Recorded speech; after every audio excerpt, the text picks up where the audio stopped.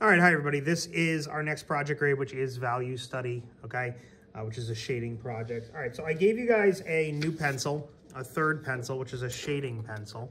Now, the three pencils you currently have, you guys have 4H, which is light shadow.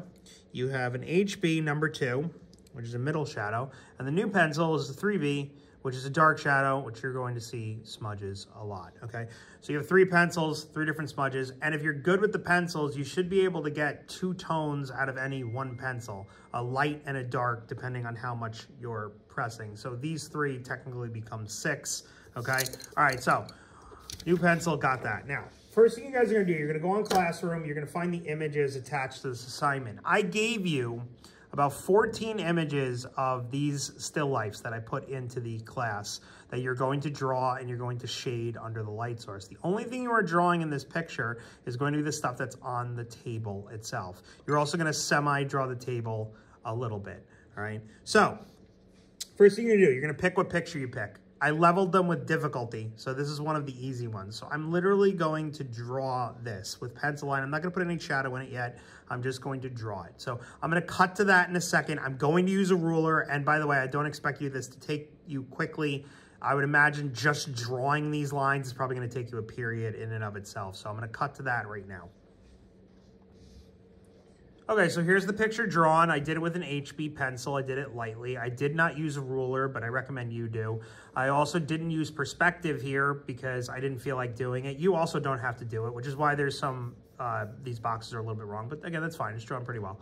So other tips I can give you when drawing this. First off, I, I, I recommend drawing in each shape as if it's the only thing there. Meaning, like for example, if I'm drawing this triangle, I'm just gonna draw the triangle and put it right through the lines of the box. Same thing with this box. I'm just gonna draw the box as if this triangle is in here, kind of like you could see through everything because it makes it so that the lines are easy to, uh, to see. Also, as much as possible, you're gonna wanna try to find shared lines. What I mean by that is, like, say for example, I draw the box in down here.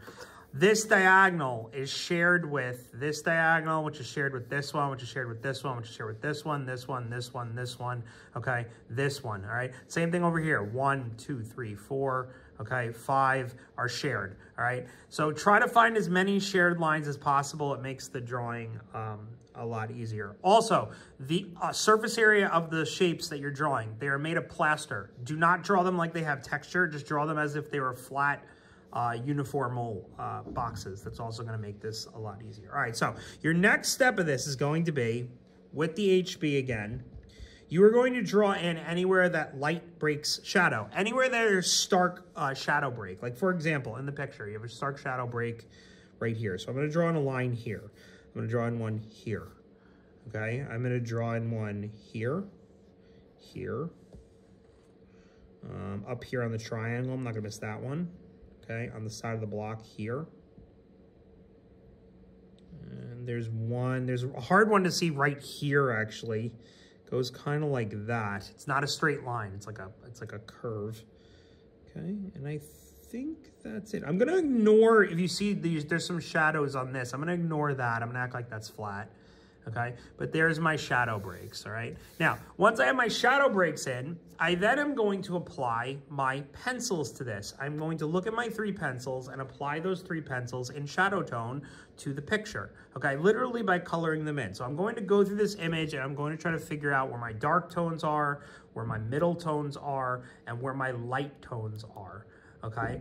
And equate those to the 4H, the HB, and the 3B, okay? Um, I'm going to cut to that right now, and then I'll explain it afterwards.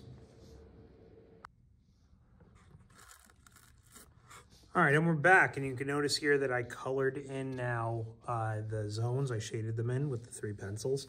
Okay, so my darkest tones, 3B, 3B, 3B, 3B, 3B, 3B, okay? I used an HB here, here, here, here, here, and here, and then I use the 4H, the lightest here and here.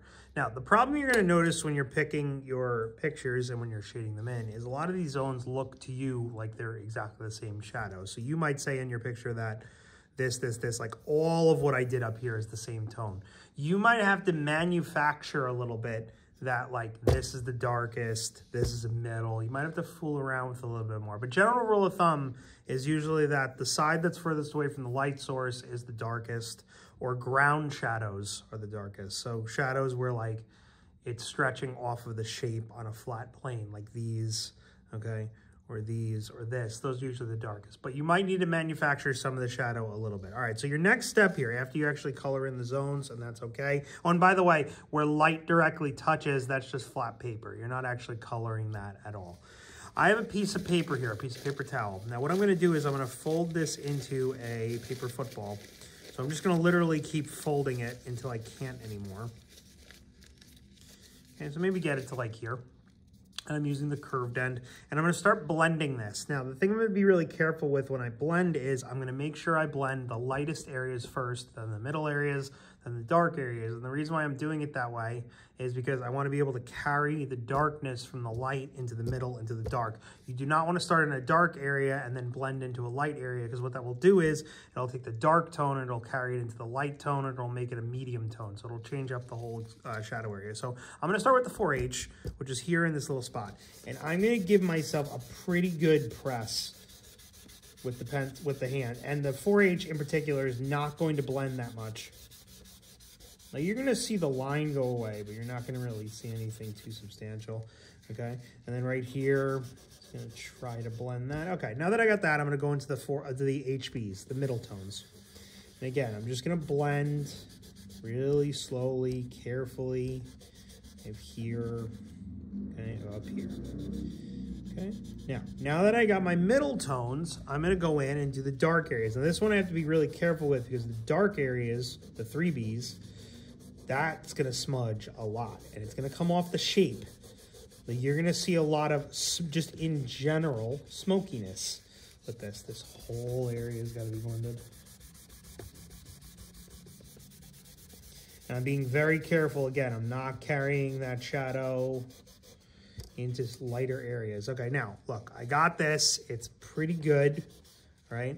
My final step here is I'm gonna take my eraser I'm going to erase anywhere that shouldn't have shadow. So anywhere that you see the shadow stretching off the shape. And then I'm going to go back in with my HB pencil and I'm going to a little bit trace over my lines again, just so you can see them a little bit better. I'm going to cut to this.